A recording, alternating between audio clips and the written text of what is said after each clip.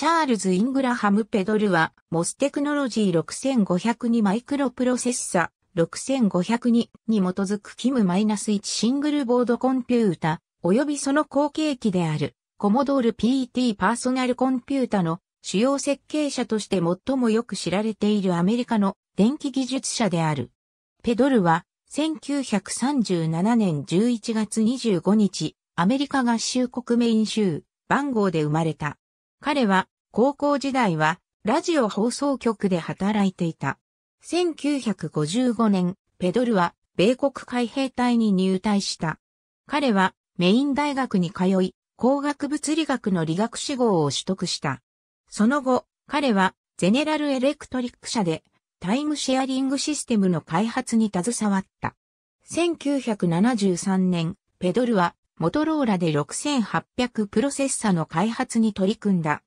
ペドルは非常に低価格なマイクロプロセッサの市場を認識し、300ドルのモトローラ6800を保管するために低価格な設計を擁護し始めた。しかし、モトローラの経営陣からプロジェクトを中止するように言われ、彼の努力は頓挫した。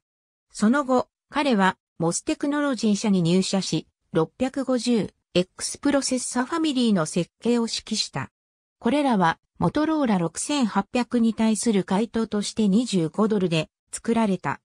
650X シリーズの中で最も有名なメンバーは、1975年に開発された6502で、価格はインテル8080の15%であった。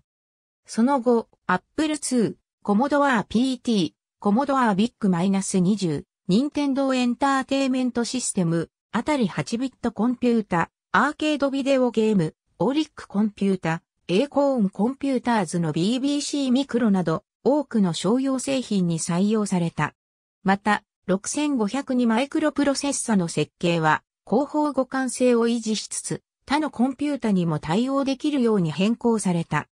1980年、ペドルは、コモドールビジネスマシーンズの出資者であるクリス・フィッシュと共にモステクノロジーを退社し、シリウスシステムテクノロジーを設立した。そこで、ペドルは、ビクター9000パーソナルコンピュータを設計した。